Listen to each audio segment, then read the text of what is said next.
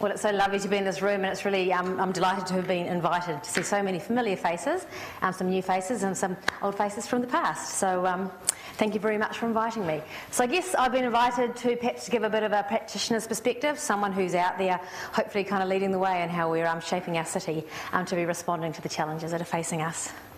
So um, just to be very clear, this is my, um, my stance on climate change. Unless we take action, future generations will be roasted, toasted, fried and grilled. So, so I absolutely, um, I'm absolutely adamant that we need to do something about it. So be, no, be under no illusion of my uh, perspective.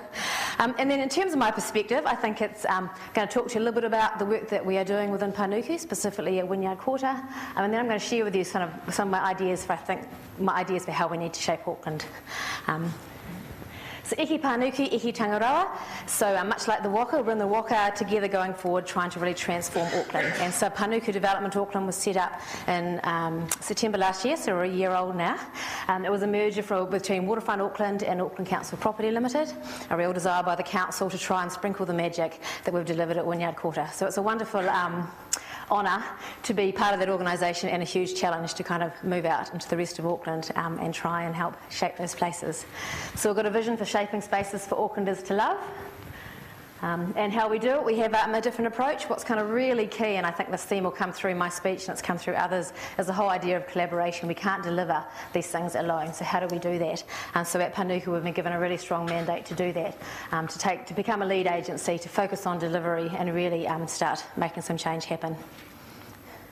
So um, obviously one of our, our, our star project is uh, the Wynyard Quarter. Hopefully many of you are familiar with that. It's been absolutely um, a pleasure to be able to be involved in that project and to see that project evolve, come out of the ground and become a place that Aucklanders really love to be part of.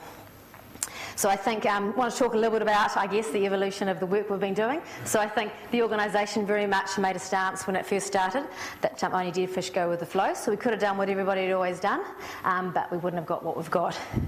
So I guess um, in thinking about how urban development would normally be delivered, um, you have a piece of land, you do the minimum you need to do to get it to the market, you market it, um, you sell it to the highest bidder, and you maximise your profit. So that would be the traditional urban development, not for some of our other development partners here tonight. So it's great to have Ockham in the room who have a different philosophy um, than that. But I think our approach at Wynyard Quarter was um, we were far more clear in what we actually wanted to achieve for that, um, that part of Auckland.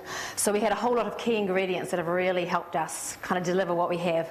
And we got a mandate from Aucklanders. Aucklanders told us that we needed to be showing leadership around sustainability.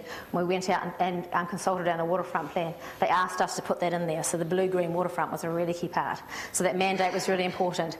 Really committed leadership, really strong board, really strong um, leadership team. Um, within uh, um, Waterfront Auckland and now Panuku. We were clear, really clear on where we wanted. We went out to the market with a, set of standards. We went out with a set of sustainability standards, design standards. We said what we wanted in terms of community infrastructure um, to develop over time. So, you know, don't be afraid to ask what you want. Um, we embedded those requirements in development agreements so they can't get out of not doing what we want them to do.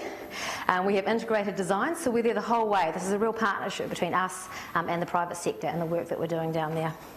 Um, we have independent reviews, so we have our work scrutinised, um, we're really transparent about our performance, etc.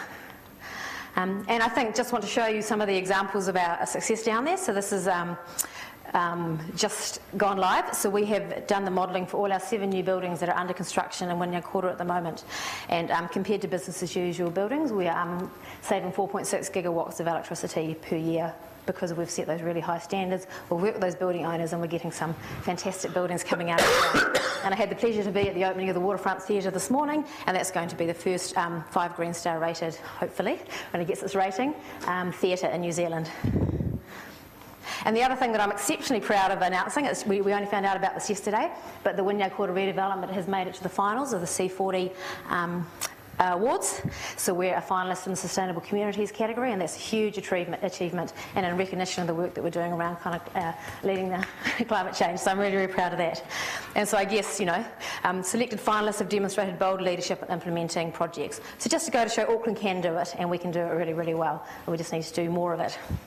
So some of my ideas on how to um, shape Auckland. So we need to think like a system. Now, these, this is old thinking, it's not new thinking at all, but I don't think we often think like a system. And um, so we are looking to use systems thinking for a lot of the work we're now doing within Panuku. We can't do things alone. We're operating communities where there's lots of existing networks in place. Um, so we need to start thinking like a system. And so there's two projects we're about to kick off. And the Puhinui Stream uh, Restoration Project in Manukau as part of our Manukau project. And we want to pull together all the people that are going to be part of making that project successful. Um, so we need to start thinking like a system um, co-everything. We use the word collaboration so incredibly loosely and freely, but you know I don't think we genuinely know what it means yet to do it incredibly well, and I think it's something that remains one of our greatest challenges to move beyond the rhetoric. Um, this is a great example of something that I think we should aspire to in Auckland. I know this is something that um, Mayor Len Brown is really interested in as well. So this is a, a city studio that's been set up by the City of Vancouver. It's a real true collaboration between business, technology, um, City Hall, the citizens, and staff within the council. So you've got, they've got this kind of hub that sits within um, City Hall where they all work collectively on challenges and they all um, you know, come up with ideas and implement them together. And I just think that kind of idea is something that I'd really like to see um, in Auckland. Uh, continuous improvement. I think we really need to look to some of these, um, some of the systems that are used within industry and business. Continuous improvement, also not a new idea, but I think so often we do something and we kind of forget that we need to keep doing the next thing. We kind of rest on our laurels a little bit. So I think continuous improvement's um, really important. So, you know, we really have to kind of keep moving on as Auckland. We can't think we've ever sold something just because we've uh, built, a, unfortunately, a new road or even a new rail link. We're going to have to keep doing things. We're going to have to keep changing, keep reviewing, and kind of keep moving forward.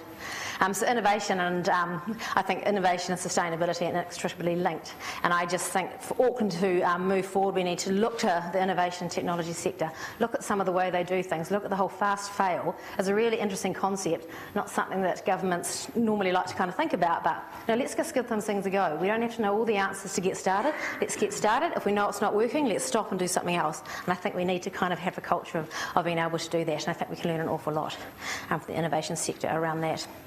And then um, globalisation. So the idea that you know we have to we realise we're in a global context and we've heard about the global context, but we really have to kind of make things about local and come up with local solutions and really work locally.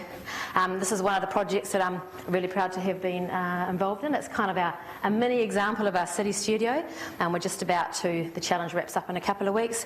But this is where we've gone to AUT and MIT students in Manukau. We've presented two challenges to them. We've asked those students to um, to devise some solutions and we're providing them support. Um, so, so, we're hoping they'll come up with solutions for their communities, and then we can make the commitment to help implement what they come up with. So my kind of four big ideas, think like a system, co-everything, continuous improvement, globalisation.